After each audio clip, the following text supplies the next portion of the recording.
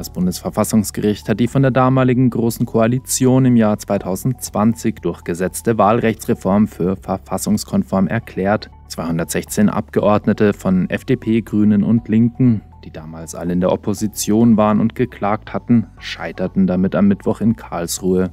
Ihr Antrag sei unbegründet, sagte die Vorsitzende Richterin des Zweiten Senats Doris König.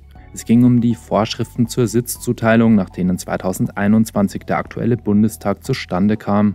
Die Reform hatte das Ziel, den durch Überhang- und Ausgleichsmandate immer größer gewordenen Bundestag zu verkleinern. Ein Kritikpunkt war allerdings, dass Überhangmandate erst ab dem vierten Mandat durch Ausgleichsmandate für andere Parteien kompensiert wurden.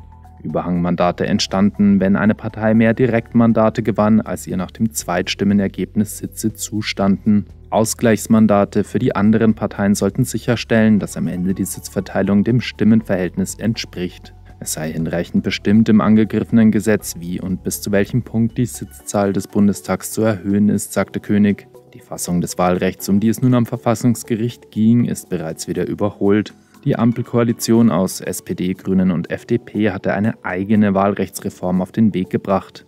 Diese geht nun deutlich weiter als die Vorgängerreform und wird wiederum von der jetzigen Opposition heftig kritisiert. Auch dagegen wurden Klagen beim Bundesverfassungsgericht eingereicht. Das nun verkündete Urteil ist aber für die geplante Wiederholungswahl in der Bundeshauptstadt von Bedeutung.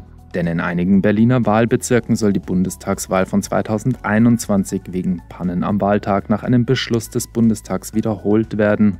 Am 19. Dezember will das Bundesverfassungsgericht verkünden, in wie vielen Wahlbezirken dies zu geschehen hat und ob es reicht, dabei nur die Zweitstimme abzugeben. Die Wiederholungswahl müsste nach denselben Regeln ablaufen wie die Hauptwahl. Die Regelgröße des Bundestags war ursprünglich mal auf 598 Abgeordnete festgelegt gewesen. Derzeit gibt es aber 736 Parlamentarier und Parlamentarierinnen, so viele wie nie zuvor. Im Grunde sind sich alle Parteien einig, dass Reformbedarf besteht, nur über das Wie wird seit Jahren gestritten. Jede Partei möchte vermeiden, dass Änderungen auf ihre Kosten gehen.